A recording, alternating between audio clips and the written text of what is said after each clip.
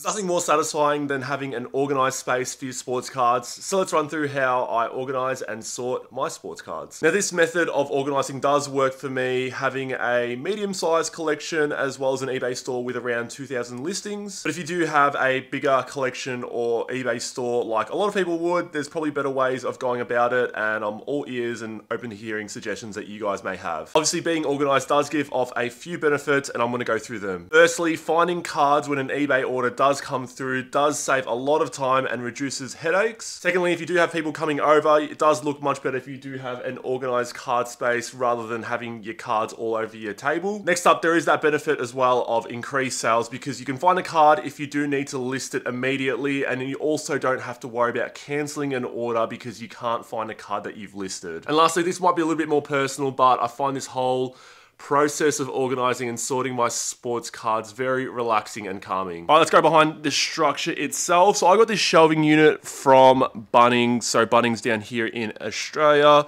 Uh, there's two of them here. So you've got one here and then you've got another one here. So I got that, it was like 55 bucks.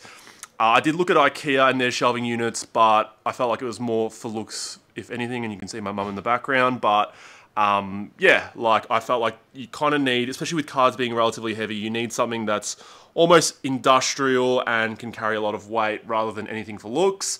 Uh, and these are a solid color, so they do, yeah, look quite all right. They do fit in in the living room. But yeah, $55 each for, for, for these, and I'll leave anything that I have in the description, um, just in case you guys want to uh, go straight to it. So we'll go row by row. Uh, I guess if you want to start out, I do use graded card storage boxes. Everyone likes to store their cards differently. Uh, I've seen people, um, I do have an example here, but they use these sort of boxes. I'm not a massive fan of them because they can only fit top loaders. I like having all my, uh, you know, my graded cards in here as well as, you know, one touches, top loaders and everything. Like the only thing that doesn't really fit in here are booklet cards, but I guess, you know, you're not really going to have too many.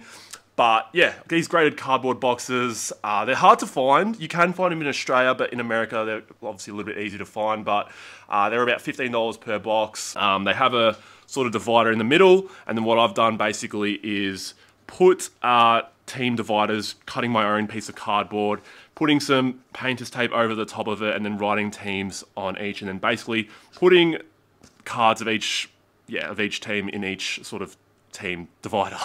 Um, yeah, and I find that really helps. You know, if you feel like uh, I, I, like the painter's tape idea because it just again, if you stuff it up, you can always put tape over it and change the team. Um, but yeah, you can see I've got each team in here. Yeah, Milwaukee. You can go down to Memphis, Orlando. It's got a huge stack. Uh, and then moving forward, NBA stack. We also have PC. My PC video will come out soon, and Aussies, I think, because we have a lot of Aussies that aren't in the NBA anymore. If we go down to NFL, NFL's the same. Uh, yeah, it's, it's well organized. I've got it all in alphabetical order. I can pull cards out quite easily. At the very front as well, I've obviously got what category they are. So NBA, NFL, we have AFL, tennis, and MLB. So I don't really have too many of those cards, but um, yeah, the AFL pile isn't too big. We've got the tennis pile, which isn't too big. Boxing, uh, got MLB, which I probably need to get a separate box for. We have soccer, which is his own box. Soccer, I've gone a little bit different because um, it is a little bit harder to organize with that, and because I don't know player movements as much, I've just gone by set. So I've got everything else that isn't one of these sets. So 2014 Prizm World Cup, got EPL Prizm, I've got uh, 2018 Prizm World Cup, and I've got pretty much everything else uh, just through here. So moving to the top row, I have spoken about this in a previous video, but I like to have all my envelopes uh, and all my packaging pretty much done so that when I do get an order, it's pretty much put the card in, cardboard, just send it off straight away. I don't want to be messing around uh, and having to pre-do everything. So uh, I have, yeah, envelopes, padded mailers all done with stamps.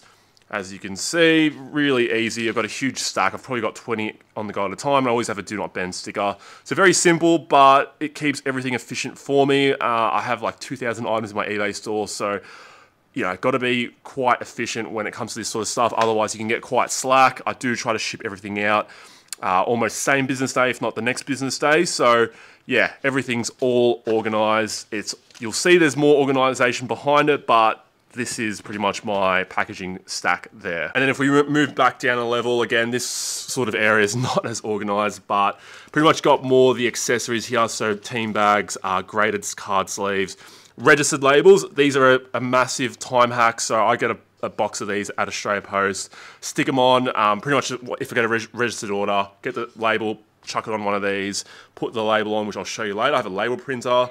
Um, and then I have top loaders here. There's more top loaders in the background. Uh, card sleeves, business card, uh, playing cards, tissues.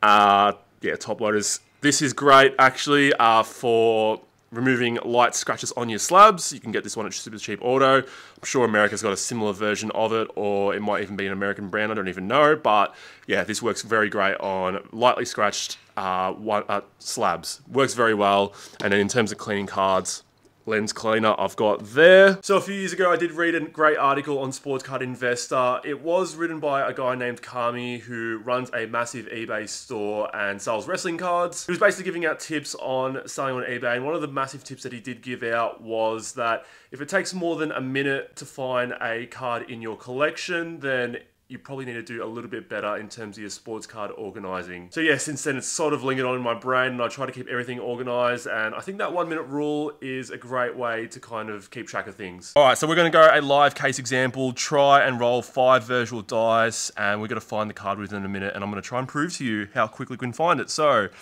8, 13, 15, 18. So we have 18 there. Uh, let's go back to the eBay store. 4, 8, 12, 16, 18. So DeAndre Ayton, Crusade out of 149. So we go to the NBA stack here, find Phoenix. Oh, Phoenix is actually, I've got to do this one-handed. Oh no, I've actually jinxed myself here. Oh, there we go. it was right there. So I that was a bit of luck, but if I had two hands, I would literally grab the whole half the pile out uh, and then pretty much go through them really quickly. And yeah, that was a bit of luck there, finding it within almost 15 seconds. All right, moving to the third level of the shelving unit. This is where it gets a little bit more unorganized, but uh, we'll work with it. Uh, so I have the Ultra Pro card sorting trays. So I'm not really much of a set collector. So I know a lot of people use these for like set collecting and all that sort of stuff, but I use it to try and help me sort even more. Normally the far left one are newest pickups and I have to save those for uh, a mail day in the future. So I've already recorded this part, but this all this stuff is uh, being yeah being organized for future videos. Uh, next one here, so obviously scanning with the eBay store. Uh, this is all, yeah, again, I don't, I try not to, I should have this a bit more organized, but uh, this one is all, all stuff that's on eBay right now on auction. Uh, and then a lot of loose cards here through the back. If there's anything of value, I try to not keep it in here because it'll just get lost. Uh, I do have a scanned sort of, so they, don't throw away these cards, the, uh, what do they call them, the decoys in packs, because I have a fair few of them, and I always use them to help me label a lot of things. So uh, if I've scanned a card onto my laptop, I separate them into, into sport, um, and then obviously scanned NBA. Behind that, you can see what cards I've scanned that have to be uploaded. That should actually be over here in the scanned NFL. So Svi Mykhailiuk, uh, and then scanned NFL. There's a bunch of here that I have to upload. A lot of loose cards here in the back that need a lot of sorting. Uh, on eBay piles. So this, actually, no, this is, no, that's not actually a thing anymore. Um, I need to actually fix that. List on eBay pile, cards I have to list on eBay, photos, cards that I need to put onto the Instagram and take photos of. Uh, don't really do auctions as much, so yeah, I guess this should really be here, the list on auction pile. Uh, grading, any cards that I think will be worthwhile for grading. I've only got one right now, and I'm still waiting for Kurt's Card Care to come in because I want to clean this up and see if it can go in. Otherwise, I'll just sell raw. Uh, and then just some loose cards in the background. All right, so this box is a little bit unorganized, but I am keen on setting up at a future card show in terms of selling. Uh, I've only started to really fill this box up, but gonna do some value boxes and then use some stickers at the back of it to help me keep track of pricing. Otherwise, it will become a bit of a hot mess. Uh, just got some graded cards here. So a lot of it, this whole pile here on the right side and the middle, are basically cards that I just have on Facebook sales and I just pretty much uh, recycle it and put it back on there. So yeah, all these cards here are pretty much going to go on Facebook sales. And then uh, by keeping it all in order in terms of when I take the photo, when I do have a Facebook sale, I'll basically just go through, go in order in terms of you know, who bought a card or whatever, and then write it down. And then when I go through the, the whole sale again and then actually try and pick out the cards and package them, everything's in order and sales don't take as long. So I try to make everything efficient because otherwise you just lose motivation in terms of all that sort of stuff. Um, the plan in the future is I want to get another one of these boxes, but one that doesn't fit uh, these. So it's actually more one of these boxes um, that just do cards that are sleeved, and those are going to be like the $1 value boxes because I think those would be more worth it than uh, this one because otherwise I'm giving a top load to everyone and $1 cards probably don't need it. Uh, these two boxes are a little bit unorganized, but basically I have sorted them into NBA, NFL, and other, but these need to be put on eBay. This is more the eBay box. It's not really the one that I had there. I'd probably say this is more the eBay box that has to get uploaded or put into sales. But yeah, I pretty much just grab a chunk of these and then go, yep, I need to scan these, put it on eBay, uh, and then list them. And then once I obviously uh, scan them, they go into the scan pile. And once the scan pile gets done, they get put into each respective box. So a lot of, I feel like this process works for me. It's really, it's, it's a lot, but I feel like it's quite simple and it does work for me. Uh, NFL, other sports, got a lot of tennis here. Again, I've got a lot to sort through. Uh, I do buy and sell a fair lot of cards, and there's a lot that I will show that's a bit unorganized. But yeah, again, it works for me. And then stationery all here, tape, uh, Stanley knife, pen, Sharpie. Uh, yeah, that's that's the third row. And then the bottom row uh, here, probably the most unorganized part, if anything. But these are all, that, that pretty much needs to go into here. And then, yeah, that's pretty much the process. It's pretty much you're moving up a level when, when you get more organized. But yeah, I've, I've got a lot of unorganized cards in here that I need to go through. Um, moving on, as I was saying, I need another box of this because I want to put my $1 cards in it. But these are actually, funnily enough, these are all cards that I have to give out. So I, like I said in one of my recent videos, I have a lot of cards that I have to give out. So uh, there is a lot of cards that I've inherited here through purchasing collections or a lot of base cards that I've ripped myself. Uh, and pretty much when I have an eBay order, I just grab like as much as I, I feel like it can fit, and then I'll just chuck it into, um, yeah, into the team bag as well. Uh, yeah, these are really handy. I think, yeah, I want to have another one of this, like I said, just to to put into uh, as, as a $1 value box. And then, yeah, below that, I just mentioned that before in the video. I, I know a lot of, actually, I'll just lift this up because Otherwise, people will not know what I'm talking about. Hey, I've seen some people use these, and I'm not a massive fan of them, as I said, but you can get these at Bunnings, you can get them at Kmart as well. Uh, relatively inexpensive way of organizing your cards, so I'm not, I'm not against it, but I have a lot of old top loaders here. Uh, and basically, there's a lot of loose cards here that just have to be sorted as well. Uh, and yeah, I'm not a fan of them because, again, like I said, you can't fit.